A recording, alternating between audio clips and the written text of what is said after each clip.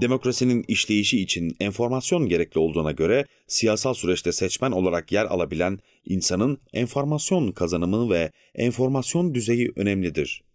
Ancak tüm vatandaşların siyasal süreçte olup biten her şey konusunda tam enformasyona sahip olmadıkları bilinen bir gerçektir. Bu nedenle siyasal süreçte eksik enformasyon söz konusudur. Seçmenin kendi tercihi olmaksızın eksik enformasyona sahip olması söz konusu olabildiği gibi eksik enformasyona sahip olma seçmenin bir tercihi de olabilir. Siyasal süreçte enformasyon eksikliği, seçmenlerin bilgisizliği, rasyonel bilgisizlik, seçmenlerin ilgisizliği, rasyonel ilgisizlik, depolitizasyon, seçmen miyopluğu, seçmenlerin unutkanlığı, bürokrasinin bilgi hakimiyeti, gizlilik ve örtbas eğilimi, siyasal arz ve siyasal talep yönlerinden ortaya çıkan taraflı, yanlış ve aşırı enformasyon, asimetrik enformasyon ve mali aldanma gibi sorunlardan kaynaklanmaktadır. Bu konularla bağlantılı olarak kullanılacak anahtar kavramlar şunlardır. Eksik enformasyon, seçmen bilgisizliği, rasyonel ilgisizlik, seçmen ilgisizliği, rasyonel ilgisizliktir. Bu programı izledikten sonra siyasal süreçte enformasyon sorunları nelerdir? Siyasal süreçteki enformasyon sorunlarının çözümleri nelerdir sorularına cevap bulabileceksiniz. Siyasal süreçte ortaya çıkan enformasyon sorunlarından bir kısmı süreçte rol oynayan birimlerin rasyonel davranmaları sonucunda ortaya çıkan sorunlardır. Bunlar rasyonel bilgisizlik, rasyonel ilgisizlik, bürokrasinin bilgi hakimiyeti, gizlilik ve örtbas, siyasal arz ve siyasal talep yönlerinden ortaya çıkan taraflı, yanlış ve aşırı enformasyon sorunları ve mali aldanma sorunudur. Öte yandan bazı enformasyon sorunları aktörlerin rasyonel davranışları dışındaki faktörlerden kaynaklanabilmektedir. Bu sorunlar doğal bilgisizlik, doğal ilgisizlik, seçmen unutkanlığı ve seçmen miyopluğudur. Bir takım enformasyon sorunları ise birimlerin rasyonel davranışı nedeniyle ortaya çıkabileceği gibi başka faktörler nedeniyle de oluşabilir. Bu sorunları da depolitizasyon ve asimetrik enformasyon sorunu olarak gruplandırmak mümkündür. Seçmen bilgisizliği, seçmenin eksik enformasyona sahip olmasını ifade eden kavramdır. Gelin şimdi seçmenlerin bilgisizliği ve rasyonel bilgisizlik kavramlarına yakından bakalım. Seçmenin kendi tercihi olmaksızın eksik enformasyona sahip olması söz konusu olabildiği gibi, eksik enformasyona sahip olma seçmenin bir tercihi de olabilir. Bunlardan ilki doğal bilgisizlik, ikincisi ise rasyonel bilgisizlik olarak adlandırılır. Enformasyon sorunlarından diğeri tam enformasyonun imkansızlığıdır. Tabula rasa kelime olarak düz levha anlamına gelen ve insanın doğum anındaki durumunu belirtmek için İngiliz aydınlanmasının öncülerinden büyük düşünür John Locke'un ileri sürdüğü Latince bir deyimdir. Locke'a göre doğduğu zaman insan aklı üstüne hiçbir şey yazılmamış dümdüz bir kağıt gibidir. Bir tabula rasadır. Bu düz kağıt yaşadıkça deneyler ve gözlemlerle doldurulacaktır. Aptalların ve bilgisizlerin tabulası ömürleri boyunca bomboş kalır. Çünkü doğuştan bilgi yoktur. İnsanın doğuşundan seçme hakkını elde ettiği erişkin yaşına kadar olan süreçte sahip olduğu enformasyon, bilginin büyümesi fenomenini ifade eder. Bilgi her zaman tamlığın doğrultusunda ilerleyen, eksik ve tamamlanmamış bir süreçtir. Her zaman da böyle kalacaktır. Çünkü değişme sürekli ve sonsuzdur. Bilgi de sürekli ve sonsuz olarak gelişecektir. İnsan yeni doğduğunda sıfır bilgiye sahiptir ve doğal bilgisizlik durumu vardır. Doğal bilgisizlik alanı insanın yaşı ilerledikçe ve enformasyon toplandıkça küçültülür. Bu süreçte rasyonel bilgisizlik aşamalı olarak doğal bilgisizliğin yerini alır. Seçmen bilgisizliğinin bir takım nedenleri vardır. Bu nedenleri şu şekilde sıralayabiliriz. Bazı seçmenlerde siyasal etkinlik duygusu daha düşüktür. Kamusal kararların bir bohça şeklinde oylanması nedeniyle seçmenlerin tam enformasyon elde etmesi mümkün olmayabilir.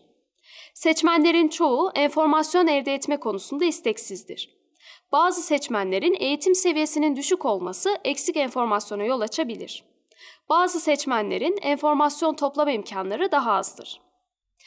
Rasyonel seçmen bilgisizliği ise seçmenlerin tercihte bulunacağı seçenekler hakkında enformasyon toplamının fayda ve maliyetlerini karşılaştırarak, enformasyon toplaması maliyetli ise bilgisiz kalmayı tercih etmesi durumudur. Rasyonel seçmen bilgisizliği olarak bilinen bu durum ilk kez Anthony Downs tarafından ele alınmıştır.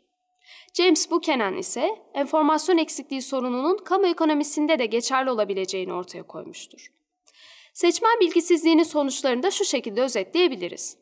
Seçmen bilgisizliği, bireysel tercihlerden tutarlı toplumsal tercihlere ulaşılmasını engeller. Seçmen bilgisizliği, kaynak israfına yol açar. Eksik enformasyon nedeniyle bazı vatandaşlar diğerlerine göre politik olarak daha önemli hale gelir. Seçmen bilgisizliği, demokratik hükümeti temsili hükümete dönüştürebilir. Seçmen bilgisizliği, siyasal iktidarı rüşvete duyarlı hale getirir. Seçmen bilgisizliği, belirli kesimlerin lobicilik yapmasına imkan sağlar. Seçmen bilgisizliği ayrıca ideolojilerin hakimiyetine ve seçmenlerin yanılmasına neden olabilir. Seçmen bilgisizliği sorunu ekonomik alanda da önemli etkilere yol açabilir. Konuyla ilgili diğer başlık seçmen ilgisizliği ve rasyonel ilgisizliktir. Siyasal sürecin işleyişinin sonucunda ideal demokrasiye ulaşmayı engelleyen bir diğer faktör seçmenlerin siyaset olan ilgisizliğidir. Siyasal ilgisizlik, bireysel tercihlerin siyasal karar alma süreci aracılığıyla toplumsal tercihlere ulaşımını önlemektedir. Dans ve Buchanan, siyasal ilgisizliğin seçmen için rasyonel bir karar olabileceğini savunmuşlar ve bu durumu rasyonel seçmenlerin ilgisizliği olarak nitelendirmişlerdir. Enformasyon sorunları ile ilgili diğer başlığımız depolitizasyondur.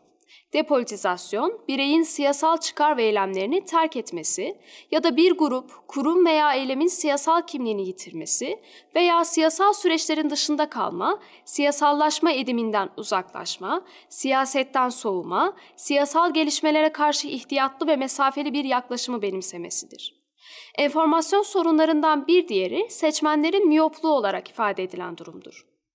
Politikacılar için uzun dönemde ekonomiye yararlı olabilecek politikaların yürürlüğe konulması yerine kısa sürede sonuç alınabilecek politikalar yürürlüğe konulması durumuna kamu tercih iktisadında politik miyopluk adı verilmektedir. Enformasyon sorunlarından bir diğeri seçmenlerin unutkanlığıdır. Politik olaylar söz konusu olduğunda seçmenlerin zayıf hafızaları vardır. Politikacı seçmenin miyop olduğu kadar unutkan olduğunu da çok iyi bilir ve ona göre davranır. Konuyla bağlantılı diğer başlığımız bürokrasinin enformasyon hakimiyeti, gizlilik ve örtbas eğilimidir. Siyasal karar alma sürecinde önemli bir yeri olan bürokraside kamu politikaları konusunda bilgi hakimiyeti mevcuttur. Öte yandan siyasal yaşamda bazı bilgilerin bilerek gizli tutulması söz konusu olabilmektedir. Siyasal iktidar ve bürokrasi faaliyetleri konusunda enformasyon sunma konusunda ise isteksizdirler. Bunun nedeni ise kamu kaynaklarının özel çıkar amaçlı kullanımını örtbas eğilimidir. Siyasal arz ve siyasal talep yönlerinden taraflı, yanlış ve aşırı enformasyon sorunları da vardır. Siyasal süreçteki enformasyon akışı siyasal arzdan siyasal talebe doğru olabileceği gibi siyasal talebin tarafları arasında da gerçekleşebilir. Bu durumda her iki yönde ortaya çıkan eksik enformasyonun yerini taraflı, yanlış veya aşırı enformasyon alır. Bir diğer enformasyon sorunu asimetrik enformasyondur.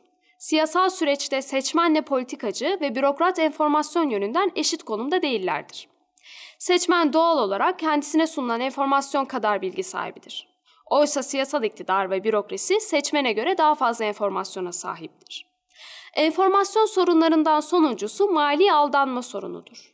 Eksik enformasyon nedeniyle aynı zamanda birer vergi mükellefi olan seçmenler bazı kamusal mal ve hizmetlerin kendilerine olan maliyetini tam olarak fark edemezler. Mali aldanma olarak bilinen bu durum ilk kez İtalyan Amilcare Puviani tarafından açıklanmıştır. Seçmenlerin tercihte bulunacakları adaylar, siyasal partiler veya kamu politikaları hakkında enformasyon ulaşabilmesi, toplaması ve değerlendirebilmesi için öncelikle seçmenin tercihte bulunmak için enformasyon ihtiyacı olduğu konusunda bilinçli olması gerekir. Eğitim, seçmenlerin enformasyon eksikliğini gidermede bir araç olarak kullanılabilir. Kitle iletişim araçları seçmenler için en önemli enformasyon kaynaklarından biridir. Yönetimde şeffaflık sağlanması ve bürokraside gizliliğin ortadan kaldırılması seçmenlerin bilgisizliğini azaltabilecek bir başka etkendir. Ayrıca tüm toplumu ilgilendiren önemli konularda referandumun yaygınlaştırılması, halk teşebbüsü ve halk vetosuna imkan tanınması yararlı olur. Seçmen bilgisizliğine yönelik özellikle federal yapılı devletler için önerilen bir başka yöntem de Taybot çözümüdür. Taybot modeli, seçmenlerin federal bir sistemde eyaletler ve yerel yönetimlerin uygulamaları hakkında enformasyon sahibi olarak kendi çıkarlarına uygun bir bölgeye yerleşmeleri ve o bölgede oy kullanmaları esasına dayalı bir modeldir. Ayrıca seçmenlerin ilgisizliğini gidermek için seçimlerde oy kullanılmasında kolaylıklar getirilmelidir. Enformasyon maliyetlerinin azaltılması siyasal katılımı artıracaktır. Seçmenlerin ilgisizliğini azaltmak için oy kullanmayan seçmenlerin para cezası ile cezalandırılması gerekmektedir. Siyasal ahlakın sağlanması açısından siyasal iktidarların güç ve yetkilerinin sınırlandırılması gerekmektedir. Mali aldanma sorununun giderilmesi için devletin küçültülmesi ve vergi sistemi içinde dolaylı ve dolaysız vergilerin payının dengelenmesi ve vergi sisteminin yeniden yapılandırılması gerekmektedir. Siyasal iktidar ve bürokrasi faaliyetleri ve enformasyon sunma konusunda ise isteksizdir. Bunun nedeni ise kamu kaynaklarının özel çıkar amaçlı kullanımını örtbas eğilimidir. Siyasal süreçte rasyonel seçmenlerin bilgisizliği, ilgisizliği, depolitizasyon, seçmenlerin miyopluğu, seçmenlerin unutkanlığı, bürokrasinin bilgi hakimiyeti ve gizlilik siyasal arz ve siyasal talep yönlerinden ortaya çıkan taraflı, yanlış ve aşırı enformasyon sorunları, asimetrik enformasyon sorunu ve mali aldanma sorunu, bireysel tercihlerden tutarlı toplumsal tercihlere ulaşılmasını önlemekte ve demokrasinin başarısızlığına neden olmaktadır. Eğitim, kitle iletişim araçlarından yararlanma imkanının artırılması yönteminde şeffaflık, referandum, halk teşebbüsü ve halk vetosu gibi katılım yöntemleriyle seçmenlerin kamu politikaları hakkında bilgilenmelerinin sağlanması, enformasyon maliyetlerinin azaltılması, oy kullanmayan seçmenlerin para cezası ile cezalandırılması, seçimlerde oy kullanılmasında kolaylıklar getirilmesi, siyasal sürece ve politikaya güvenin sağlanması gibi önlemler siyasal süreçte enformasyon sorununu çözebilir. Bu programda siyasal süreçte enformasyon sorunları nelerdir? Siyasal süreçteki enformasyon sorunlarının çözümleri nelerdir sorularına değinildi. Konuyla ilgili daha ayrıntılı bilgi Kamu Ekonomisi 2 ders kitabının 5. ünitesinde yer almaktadır.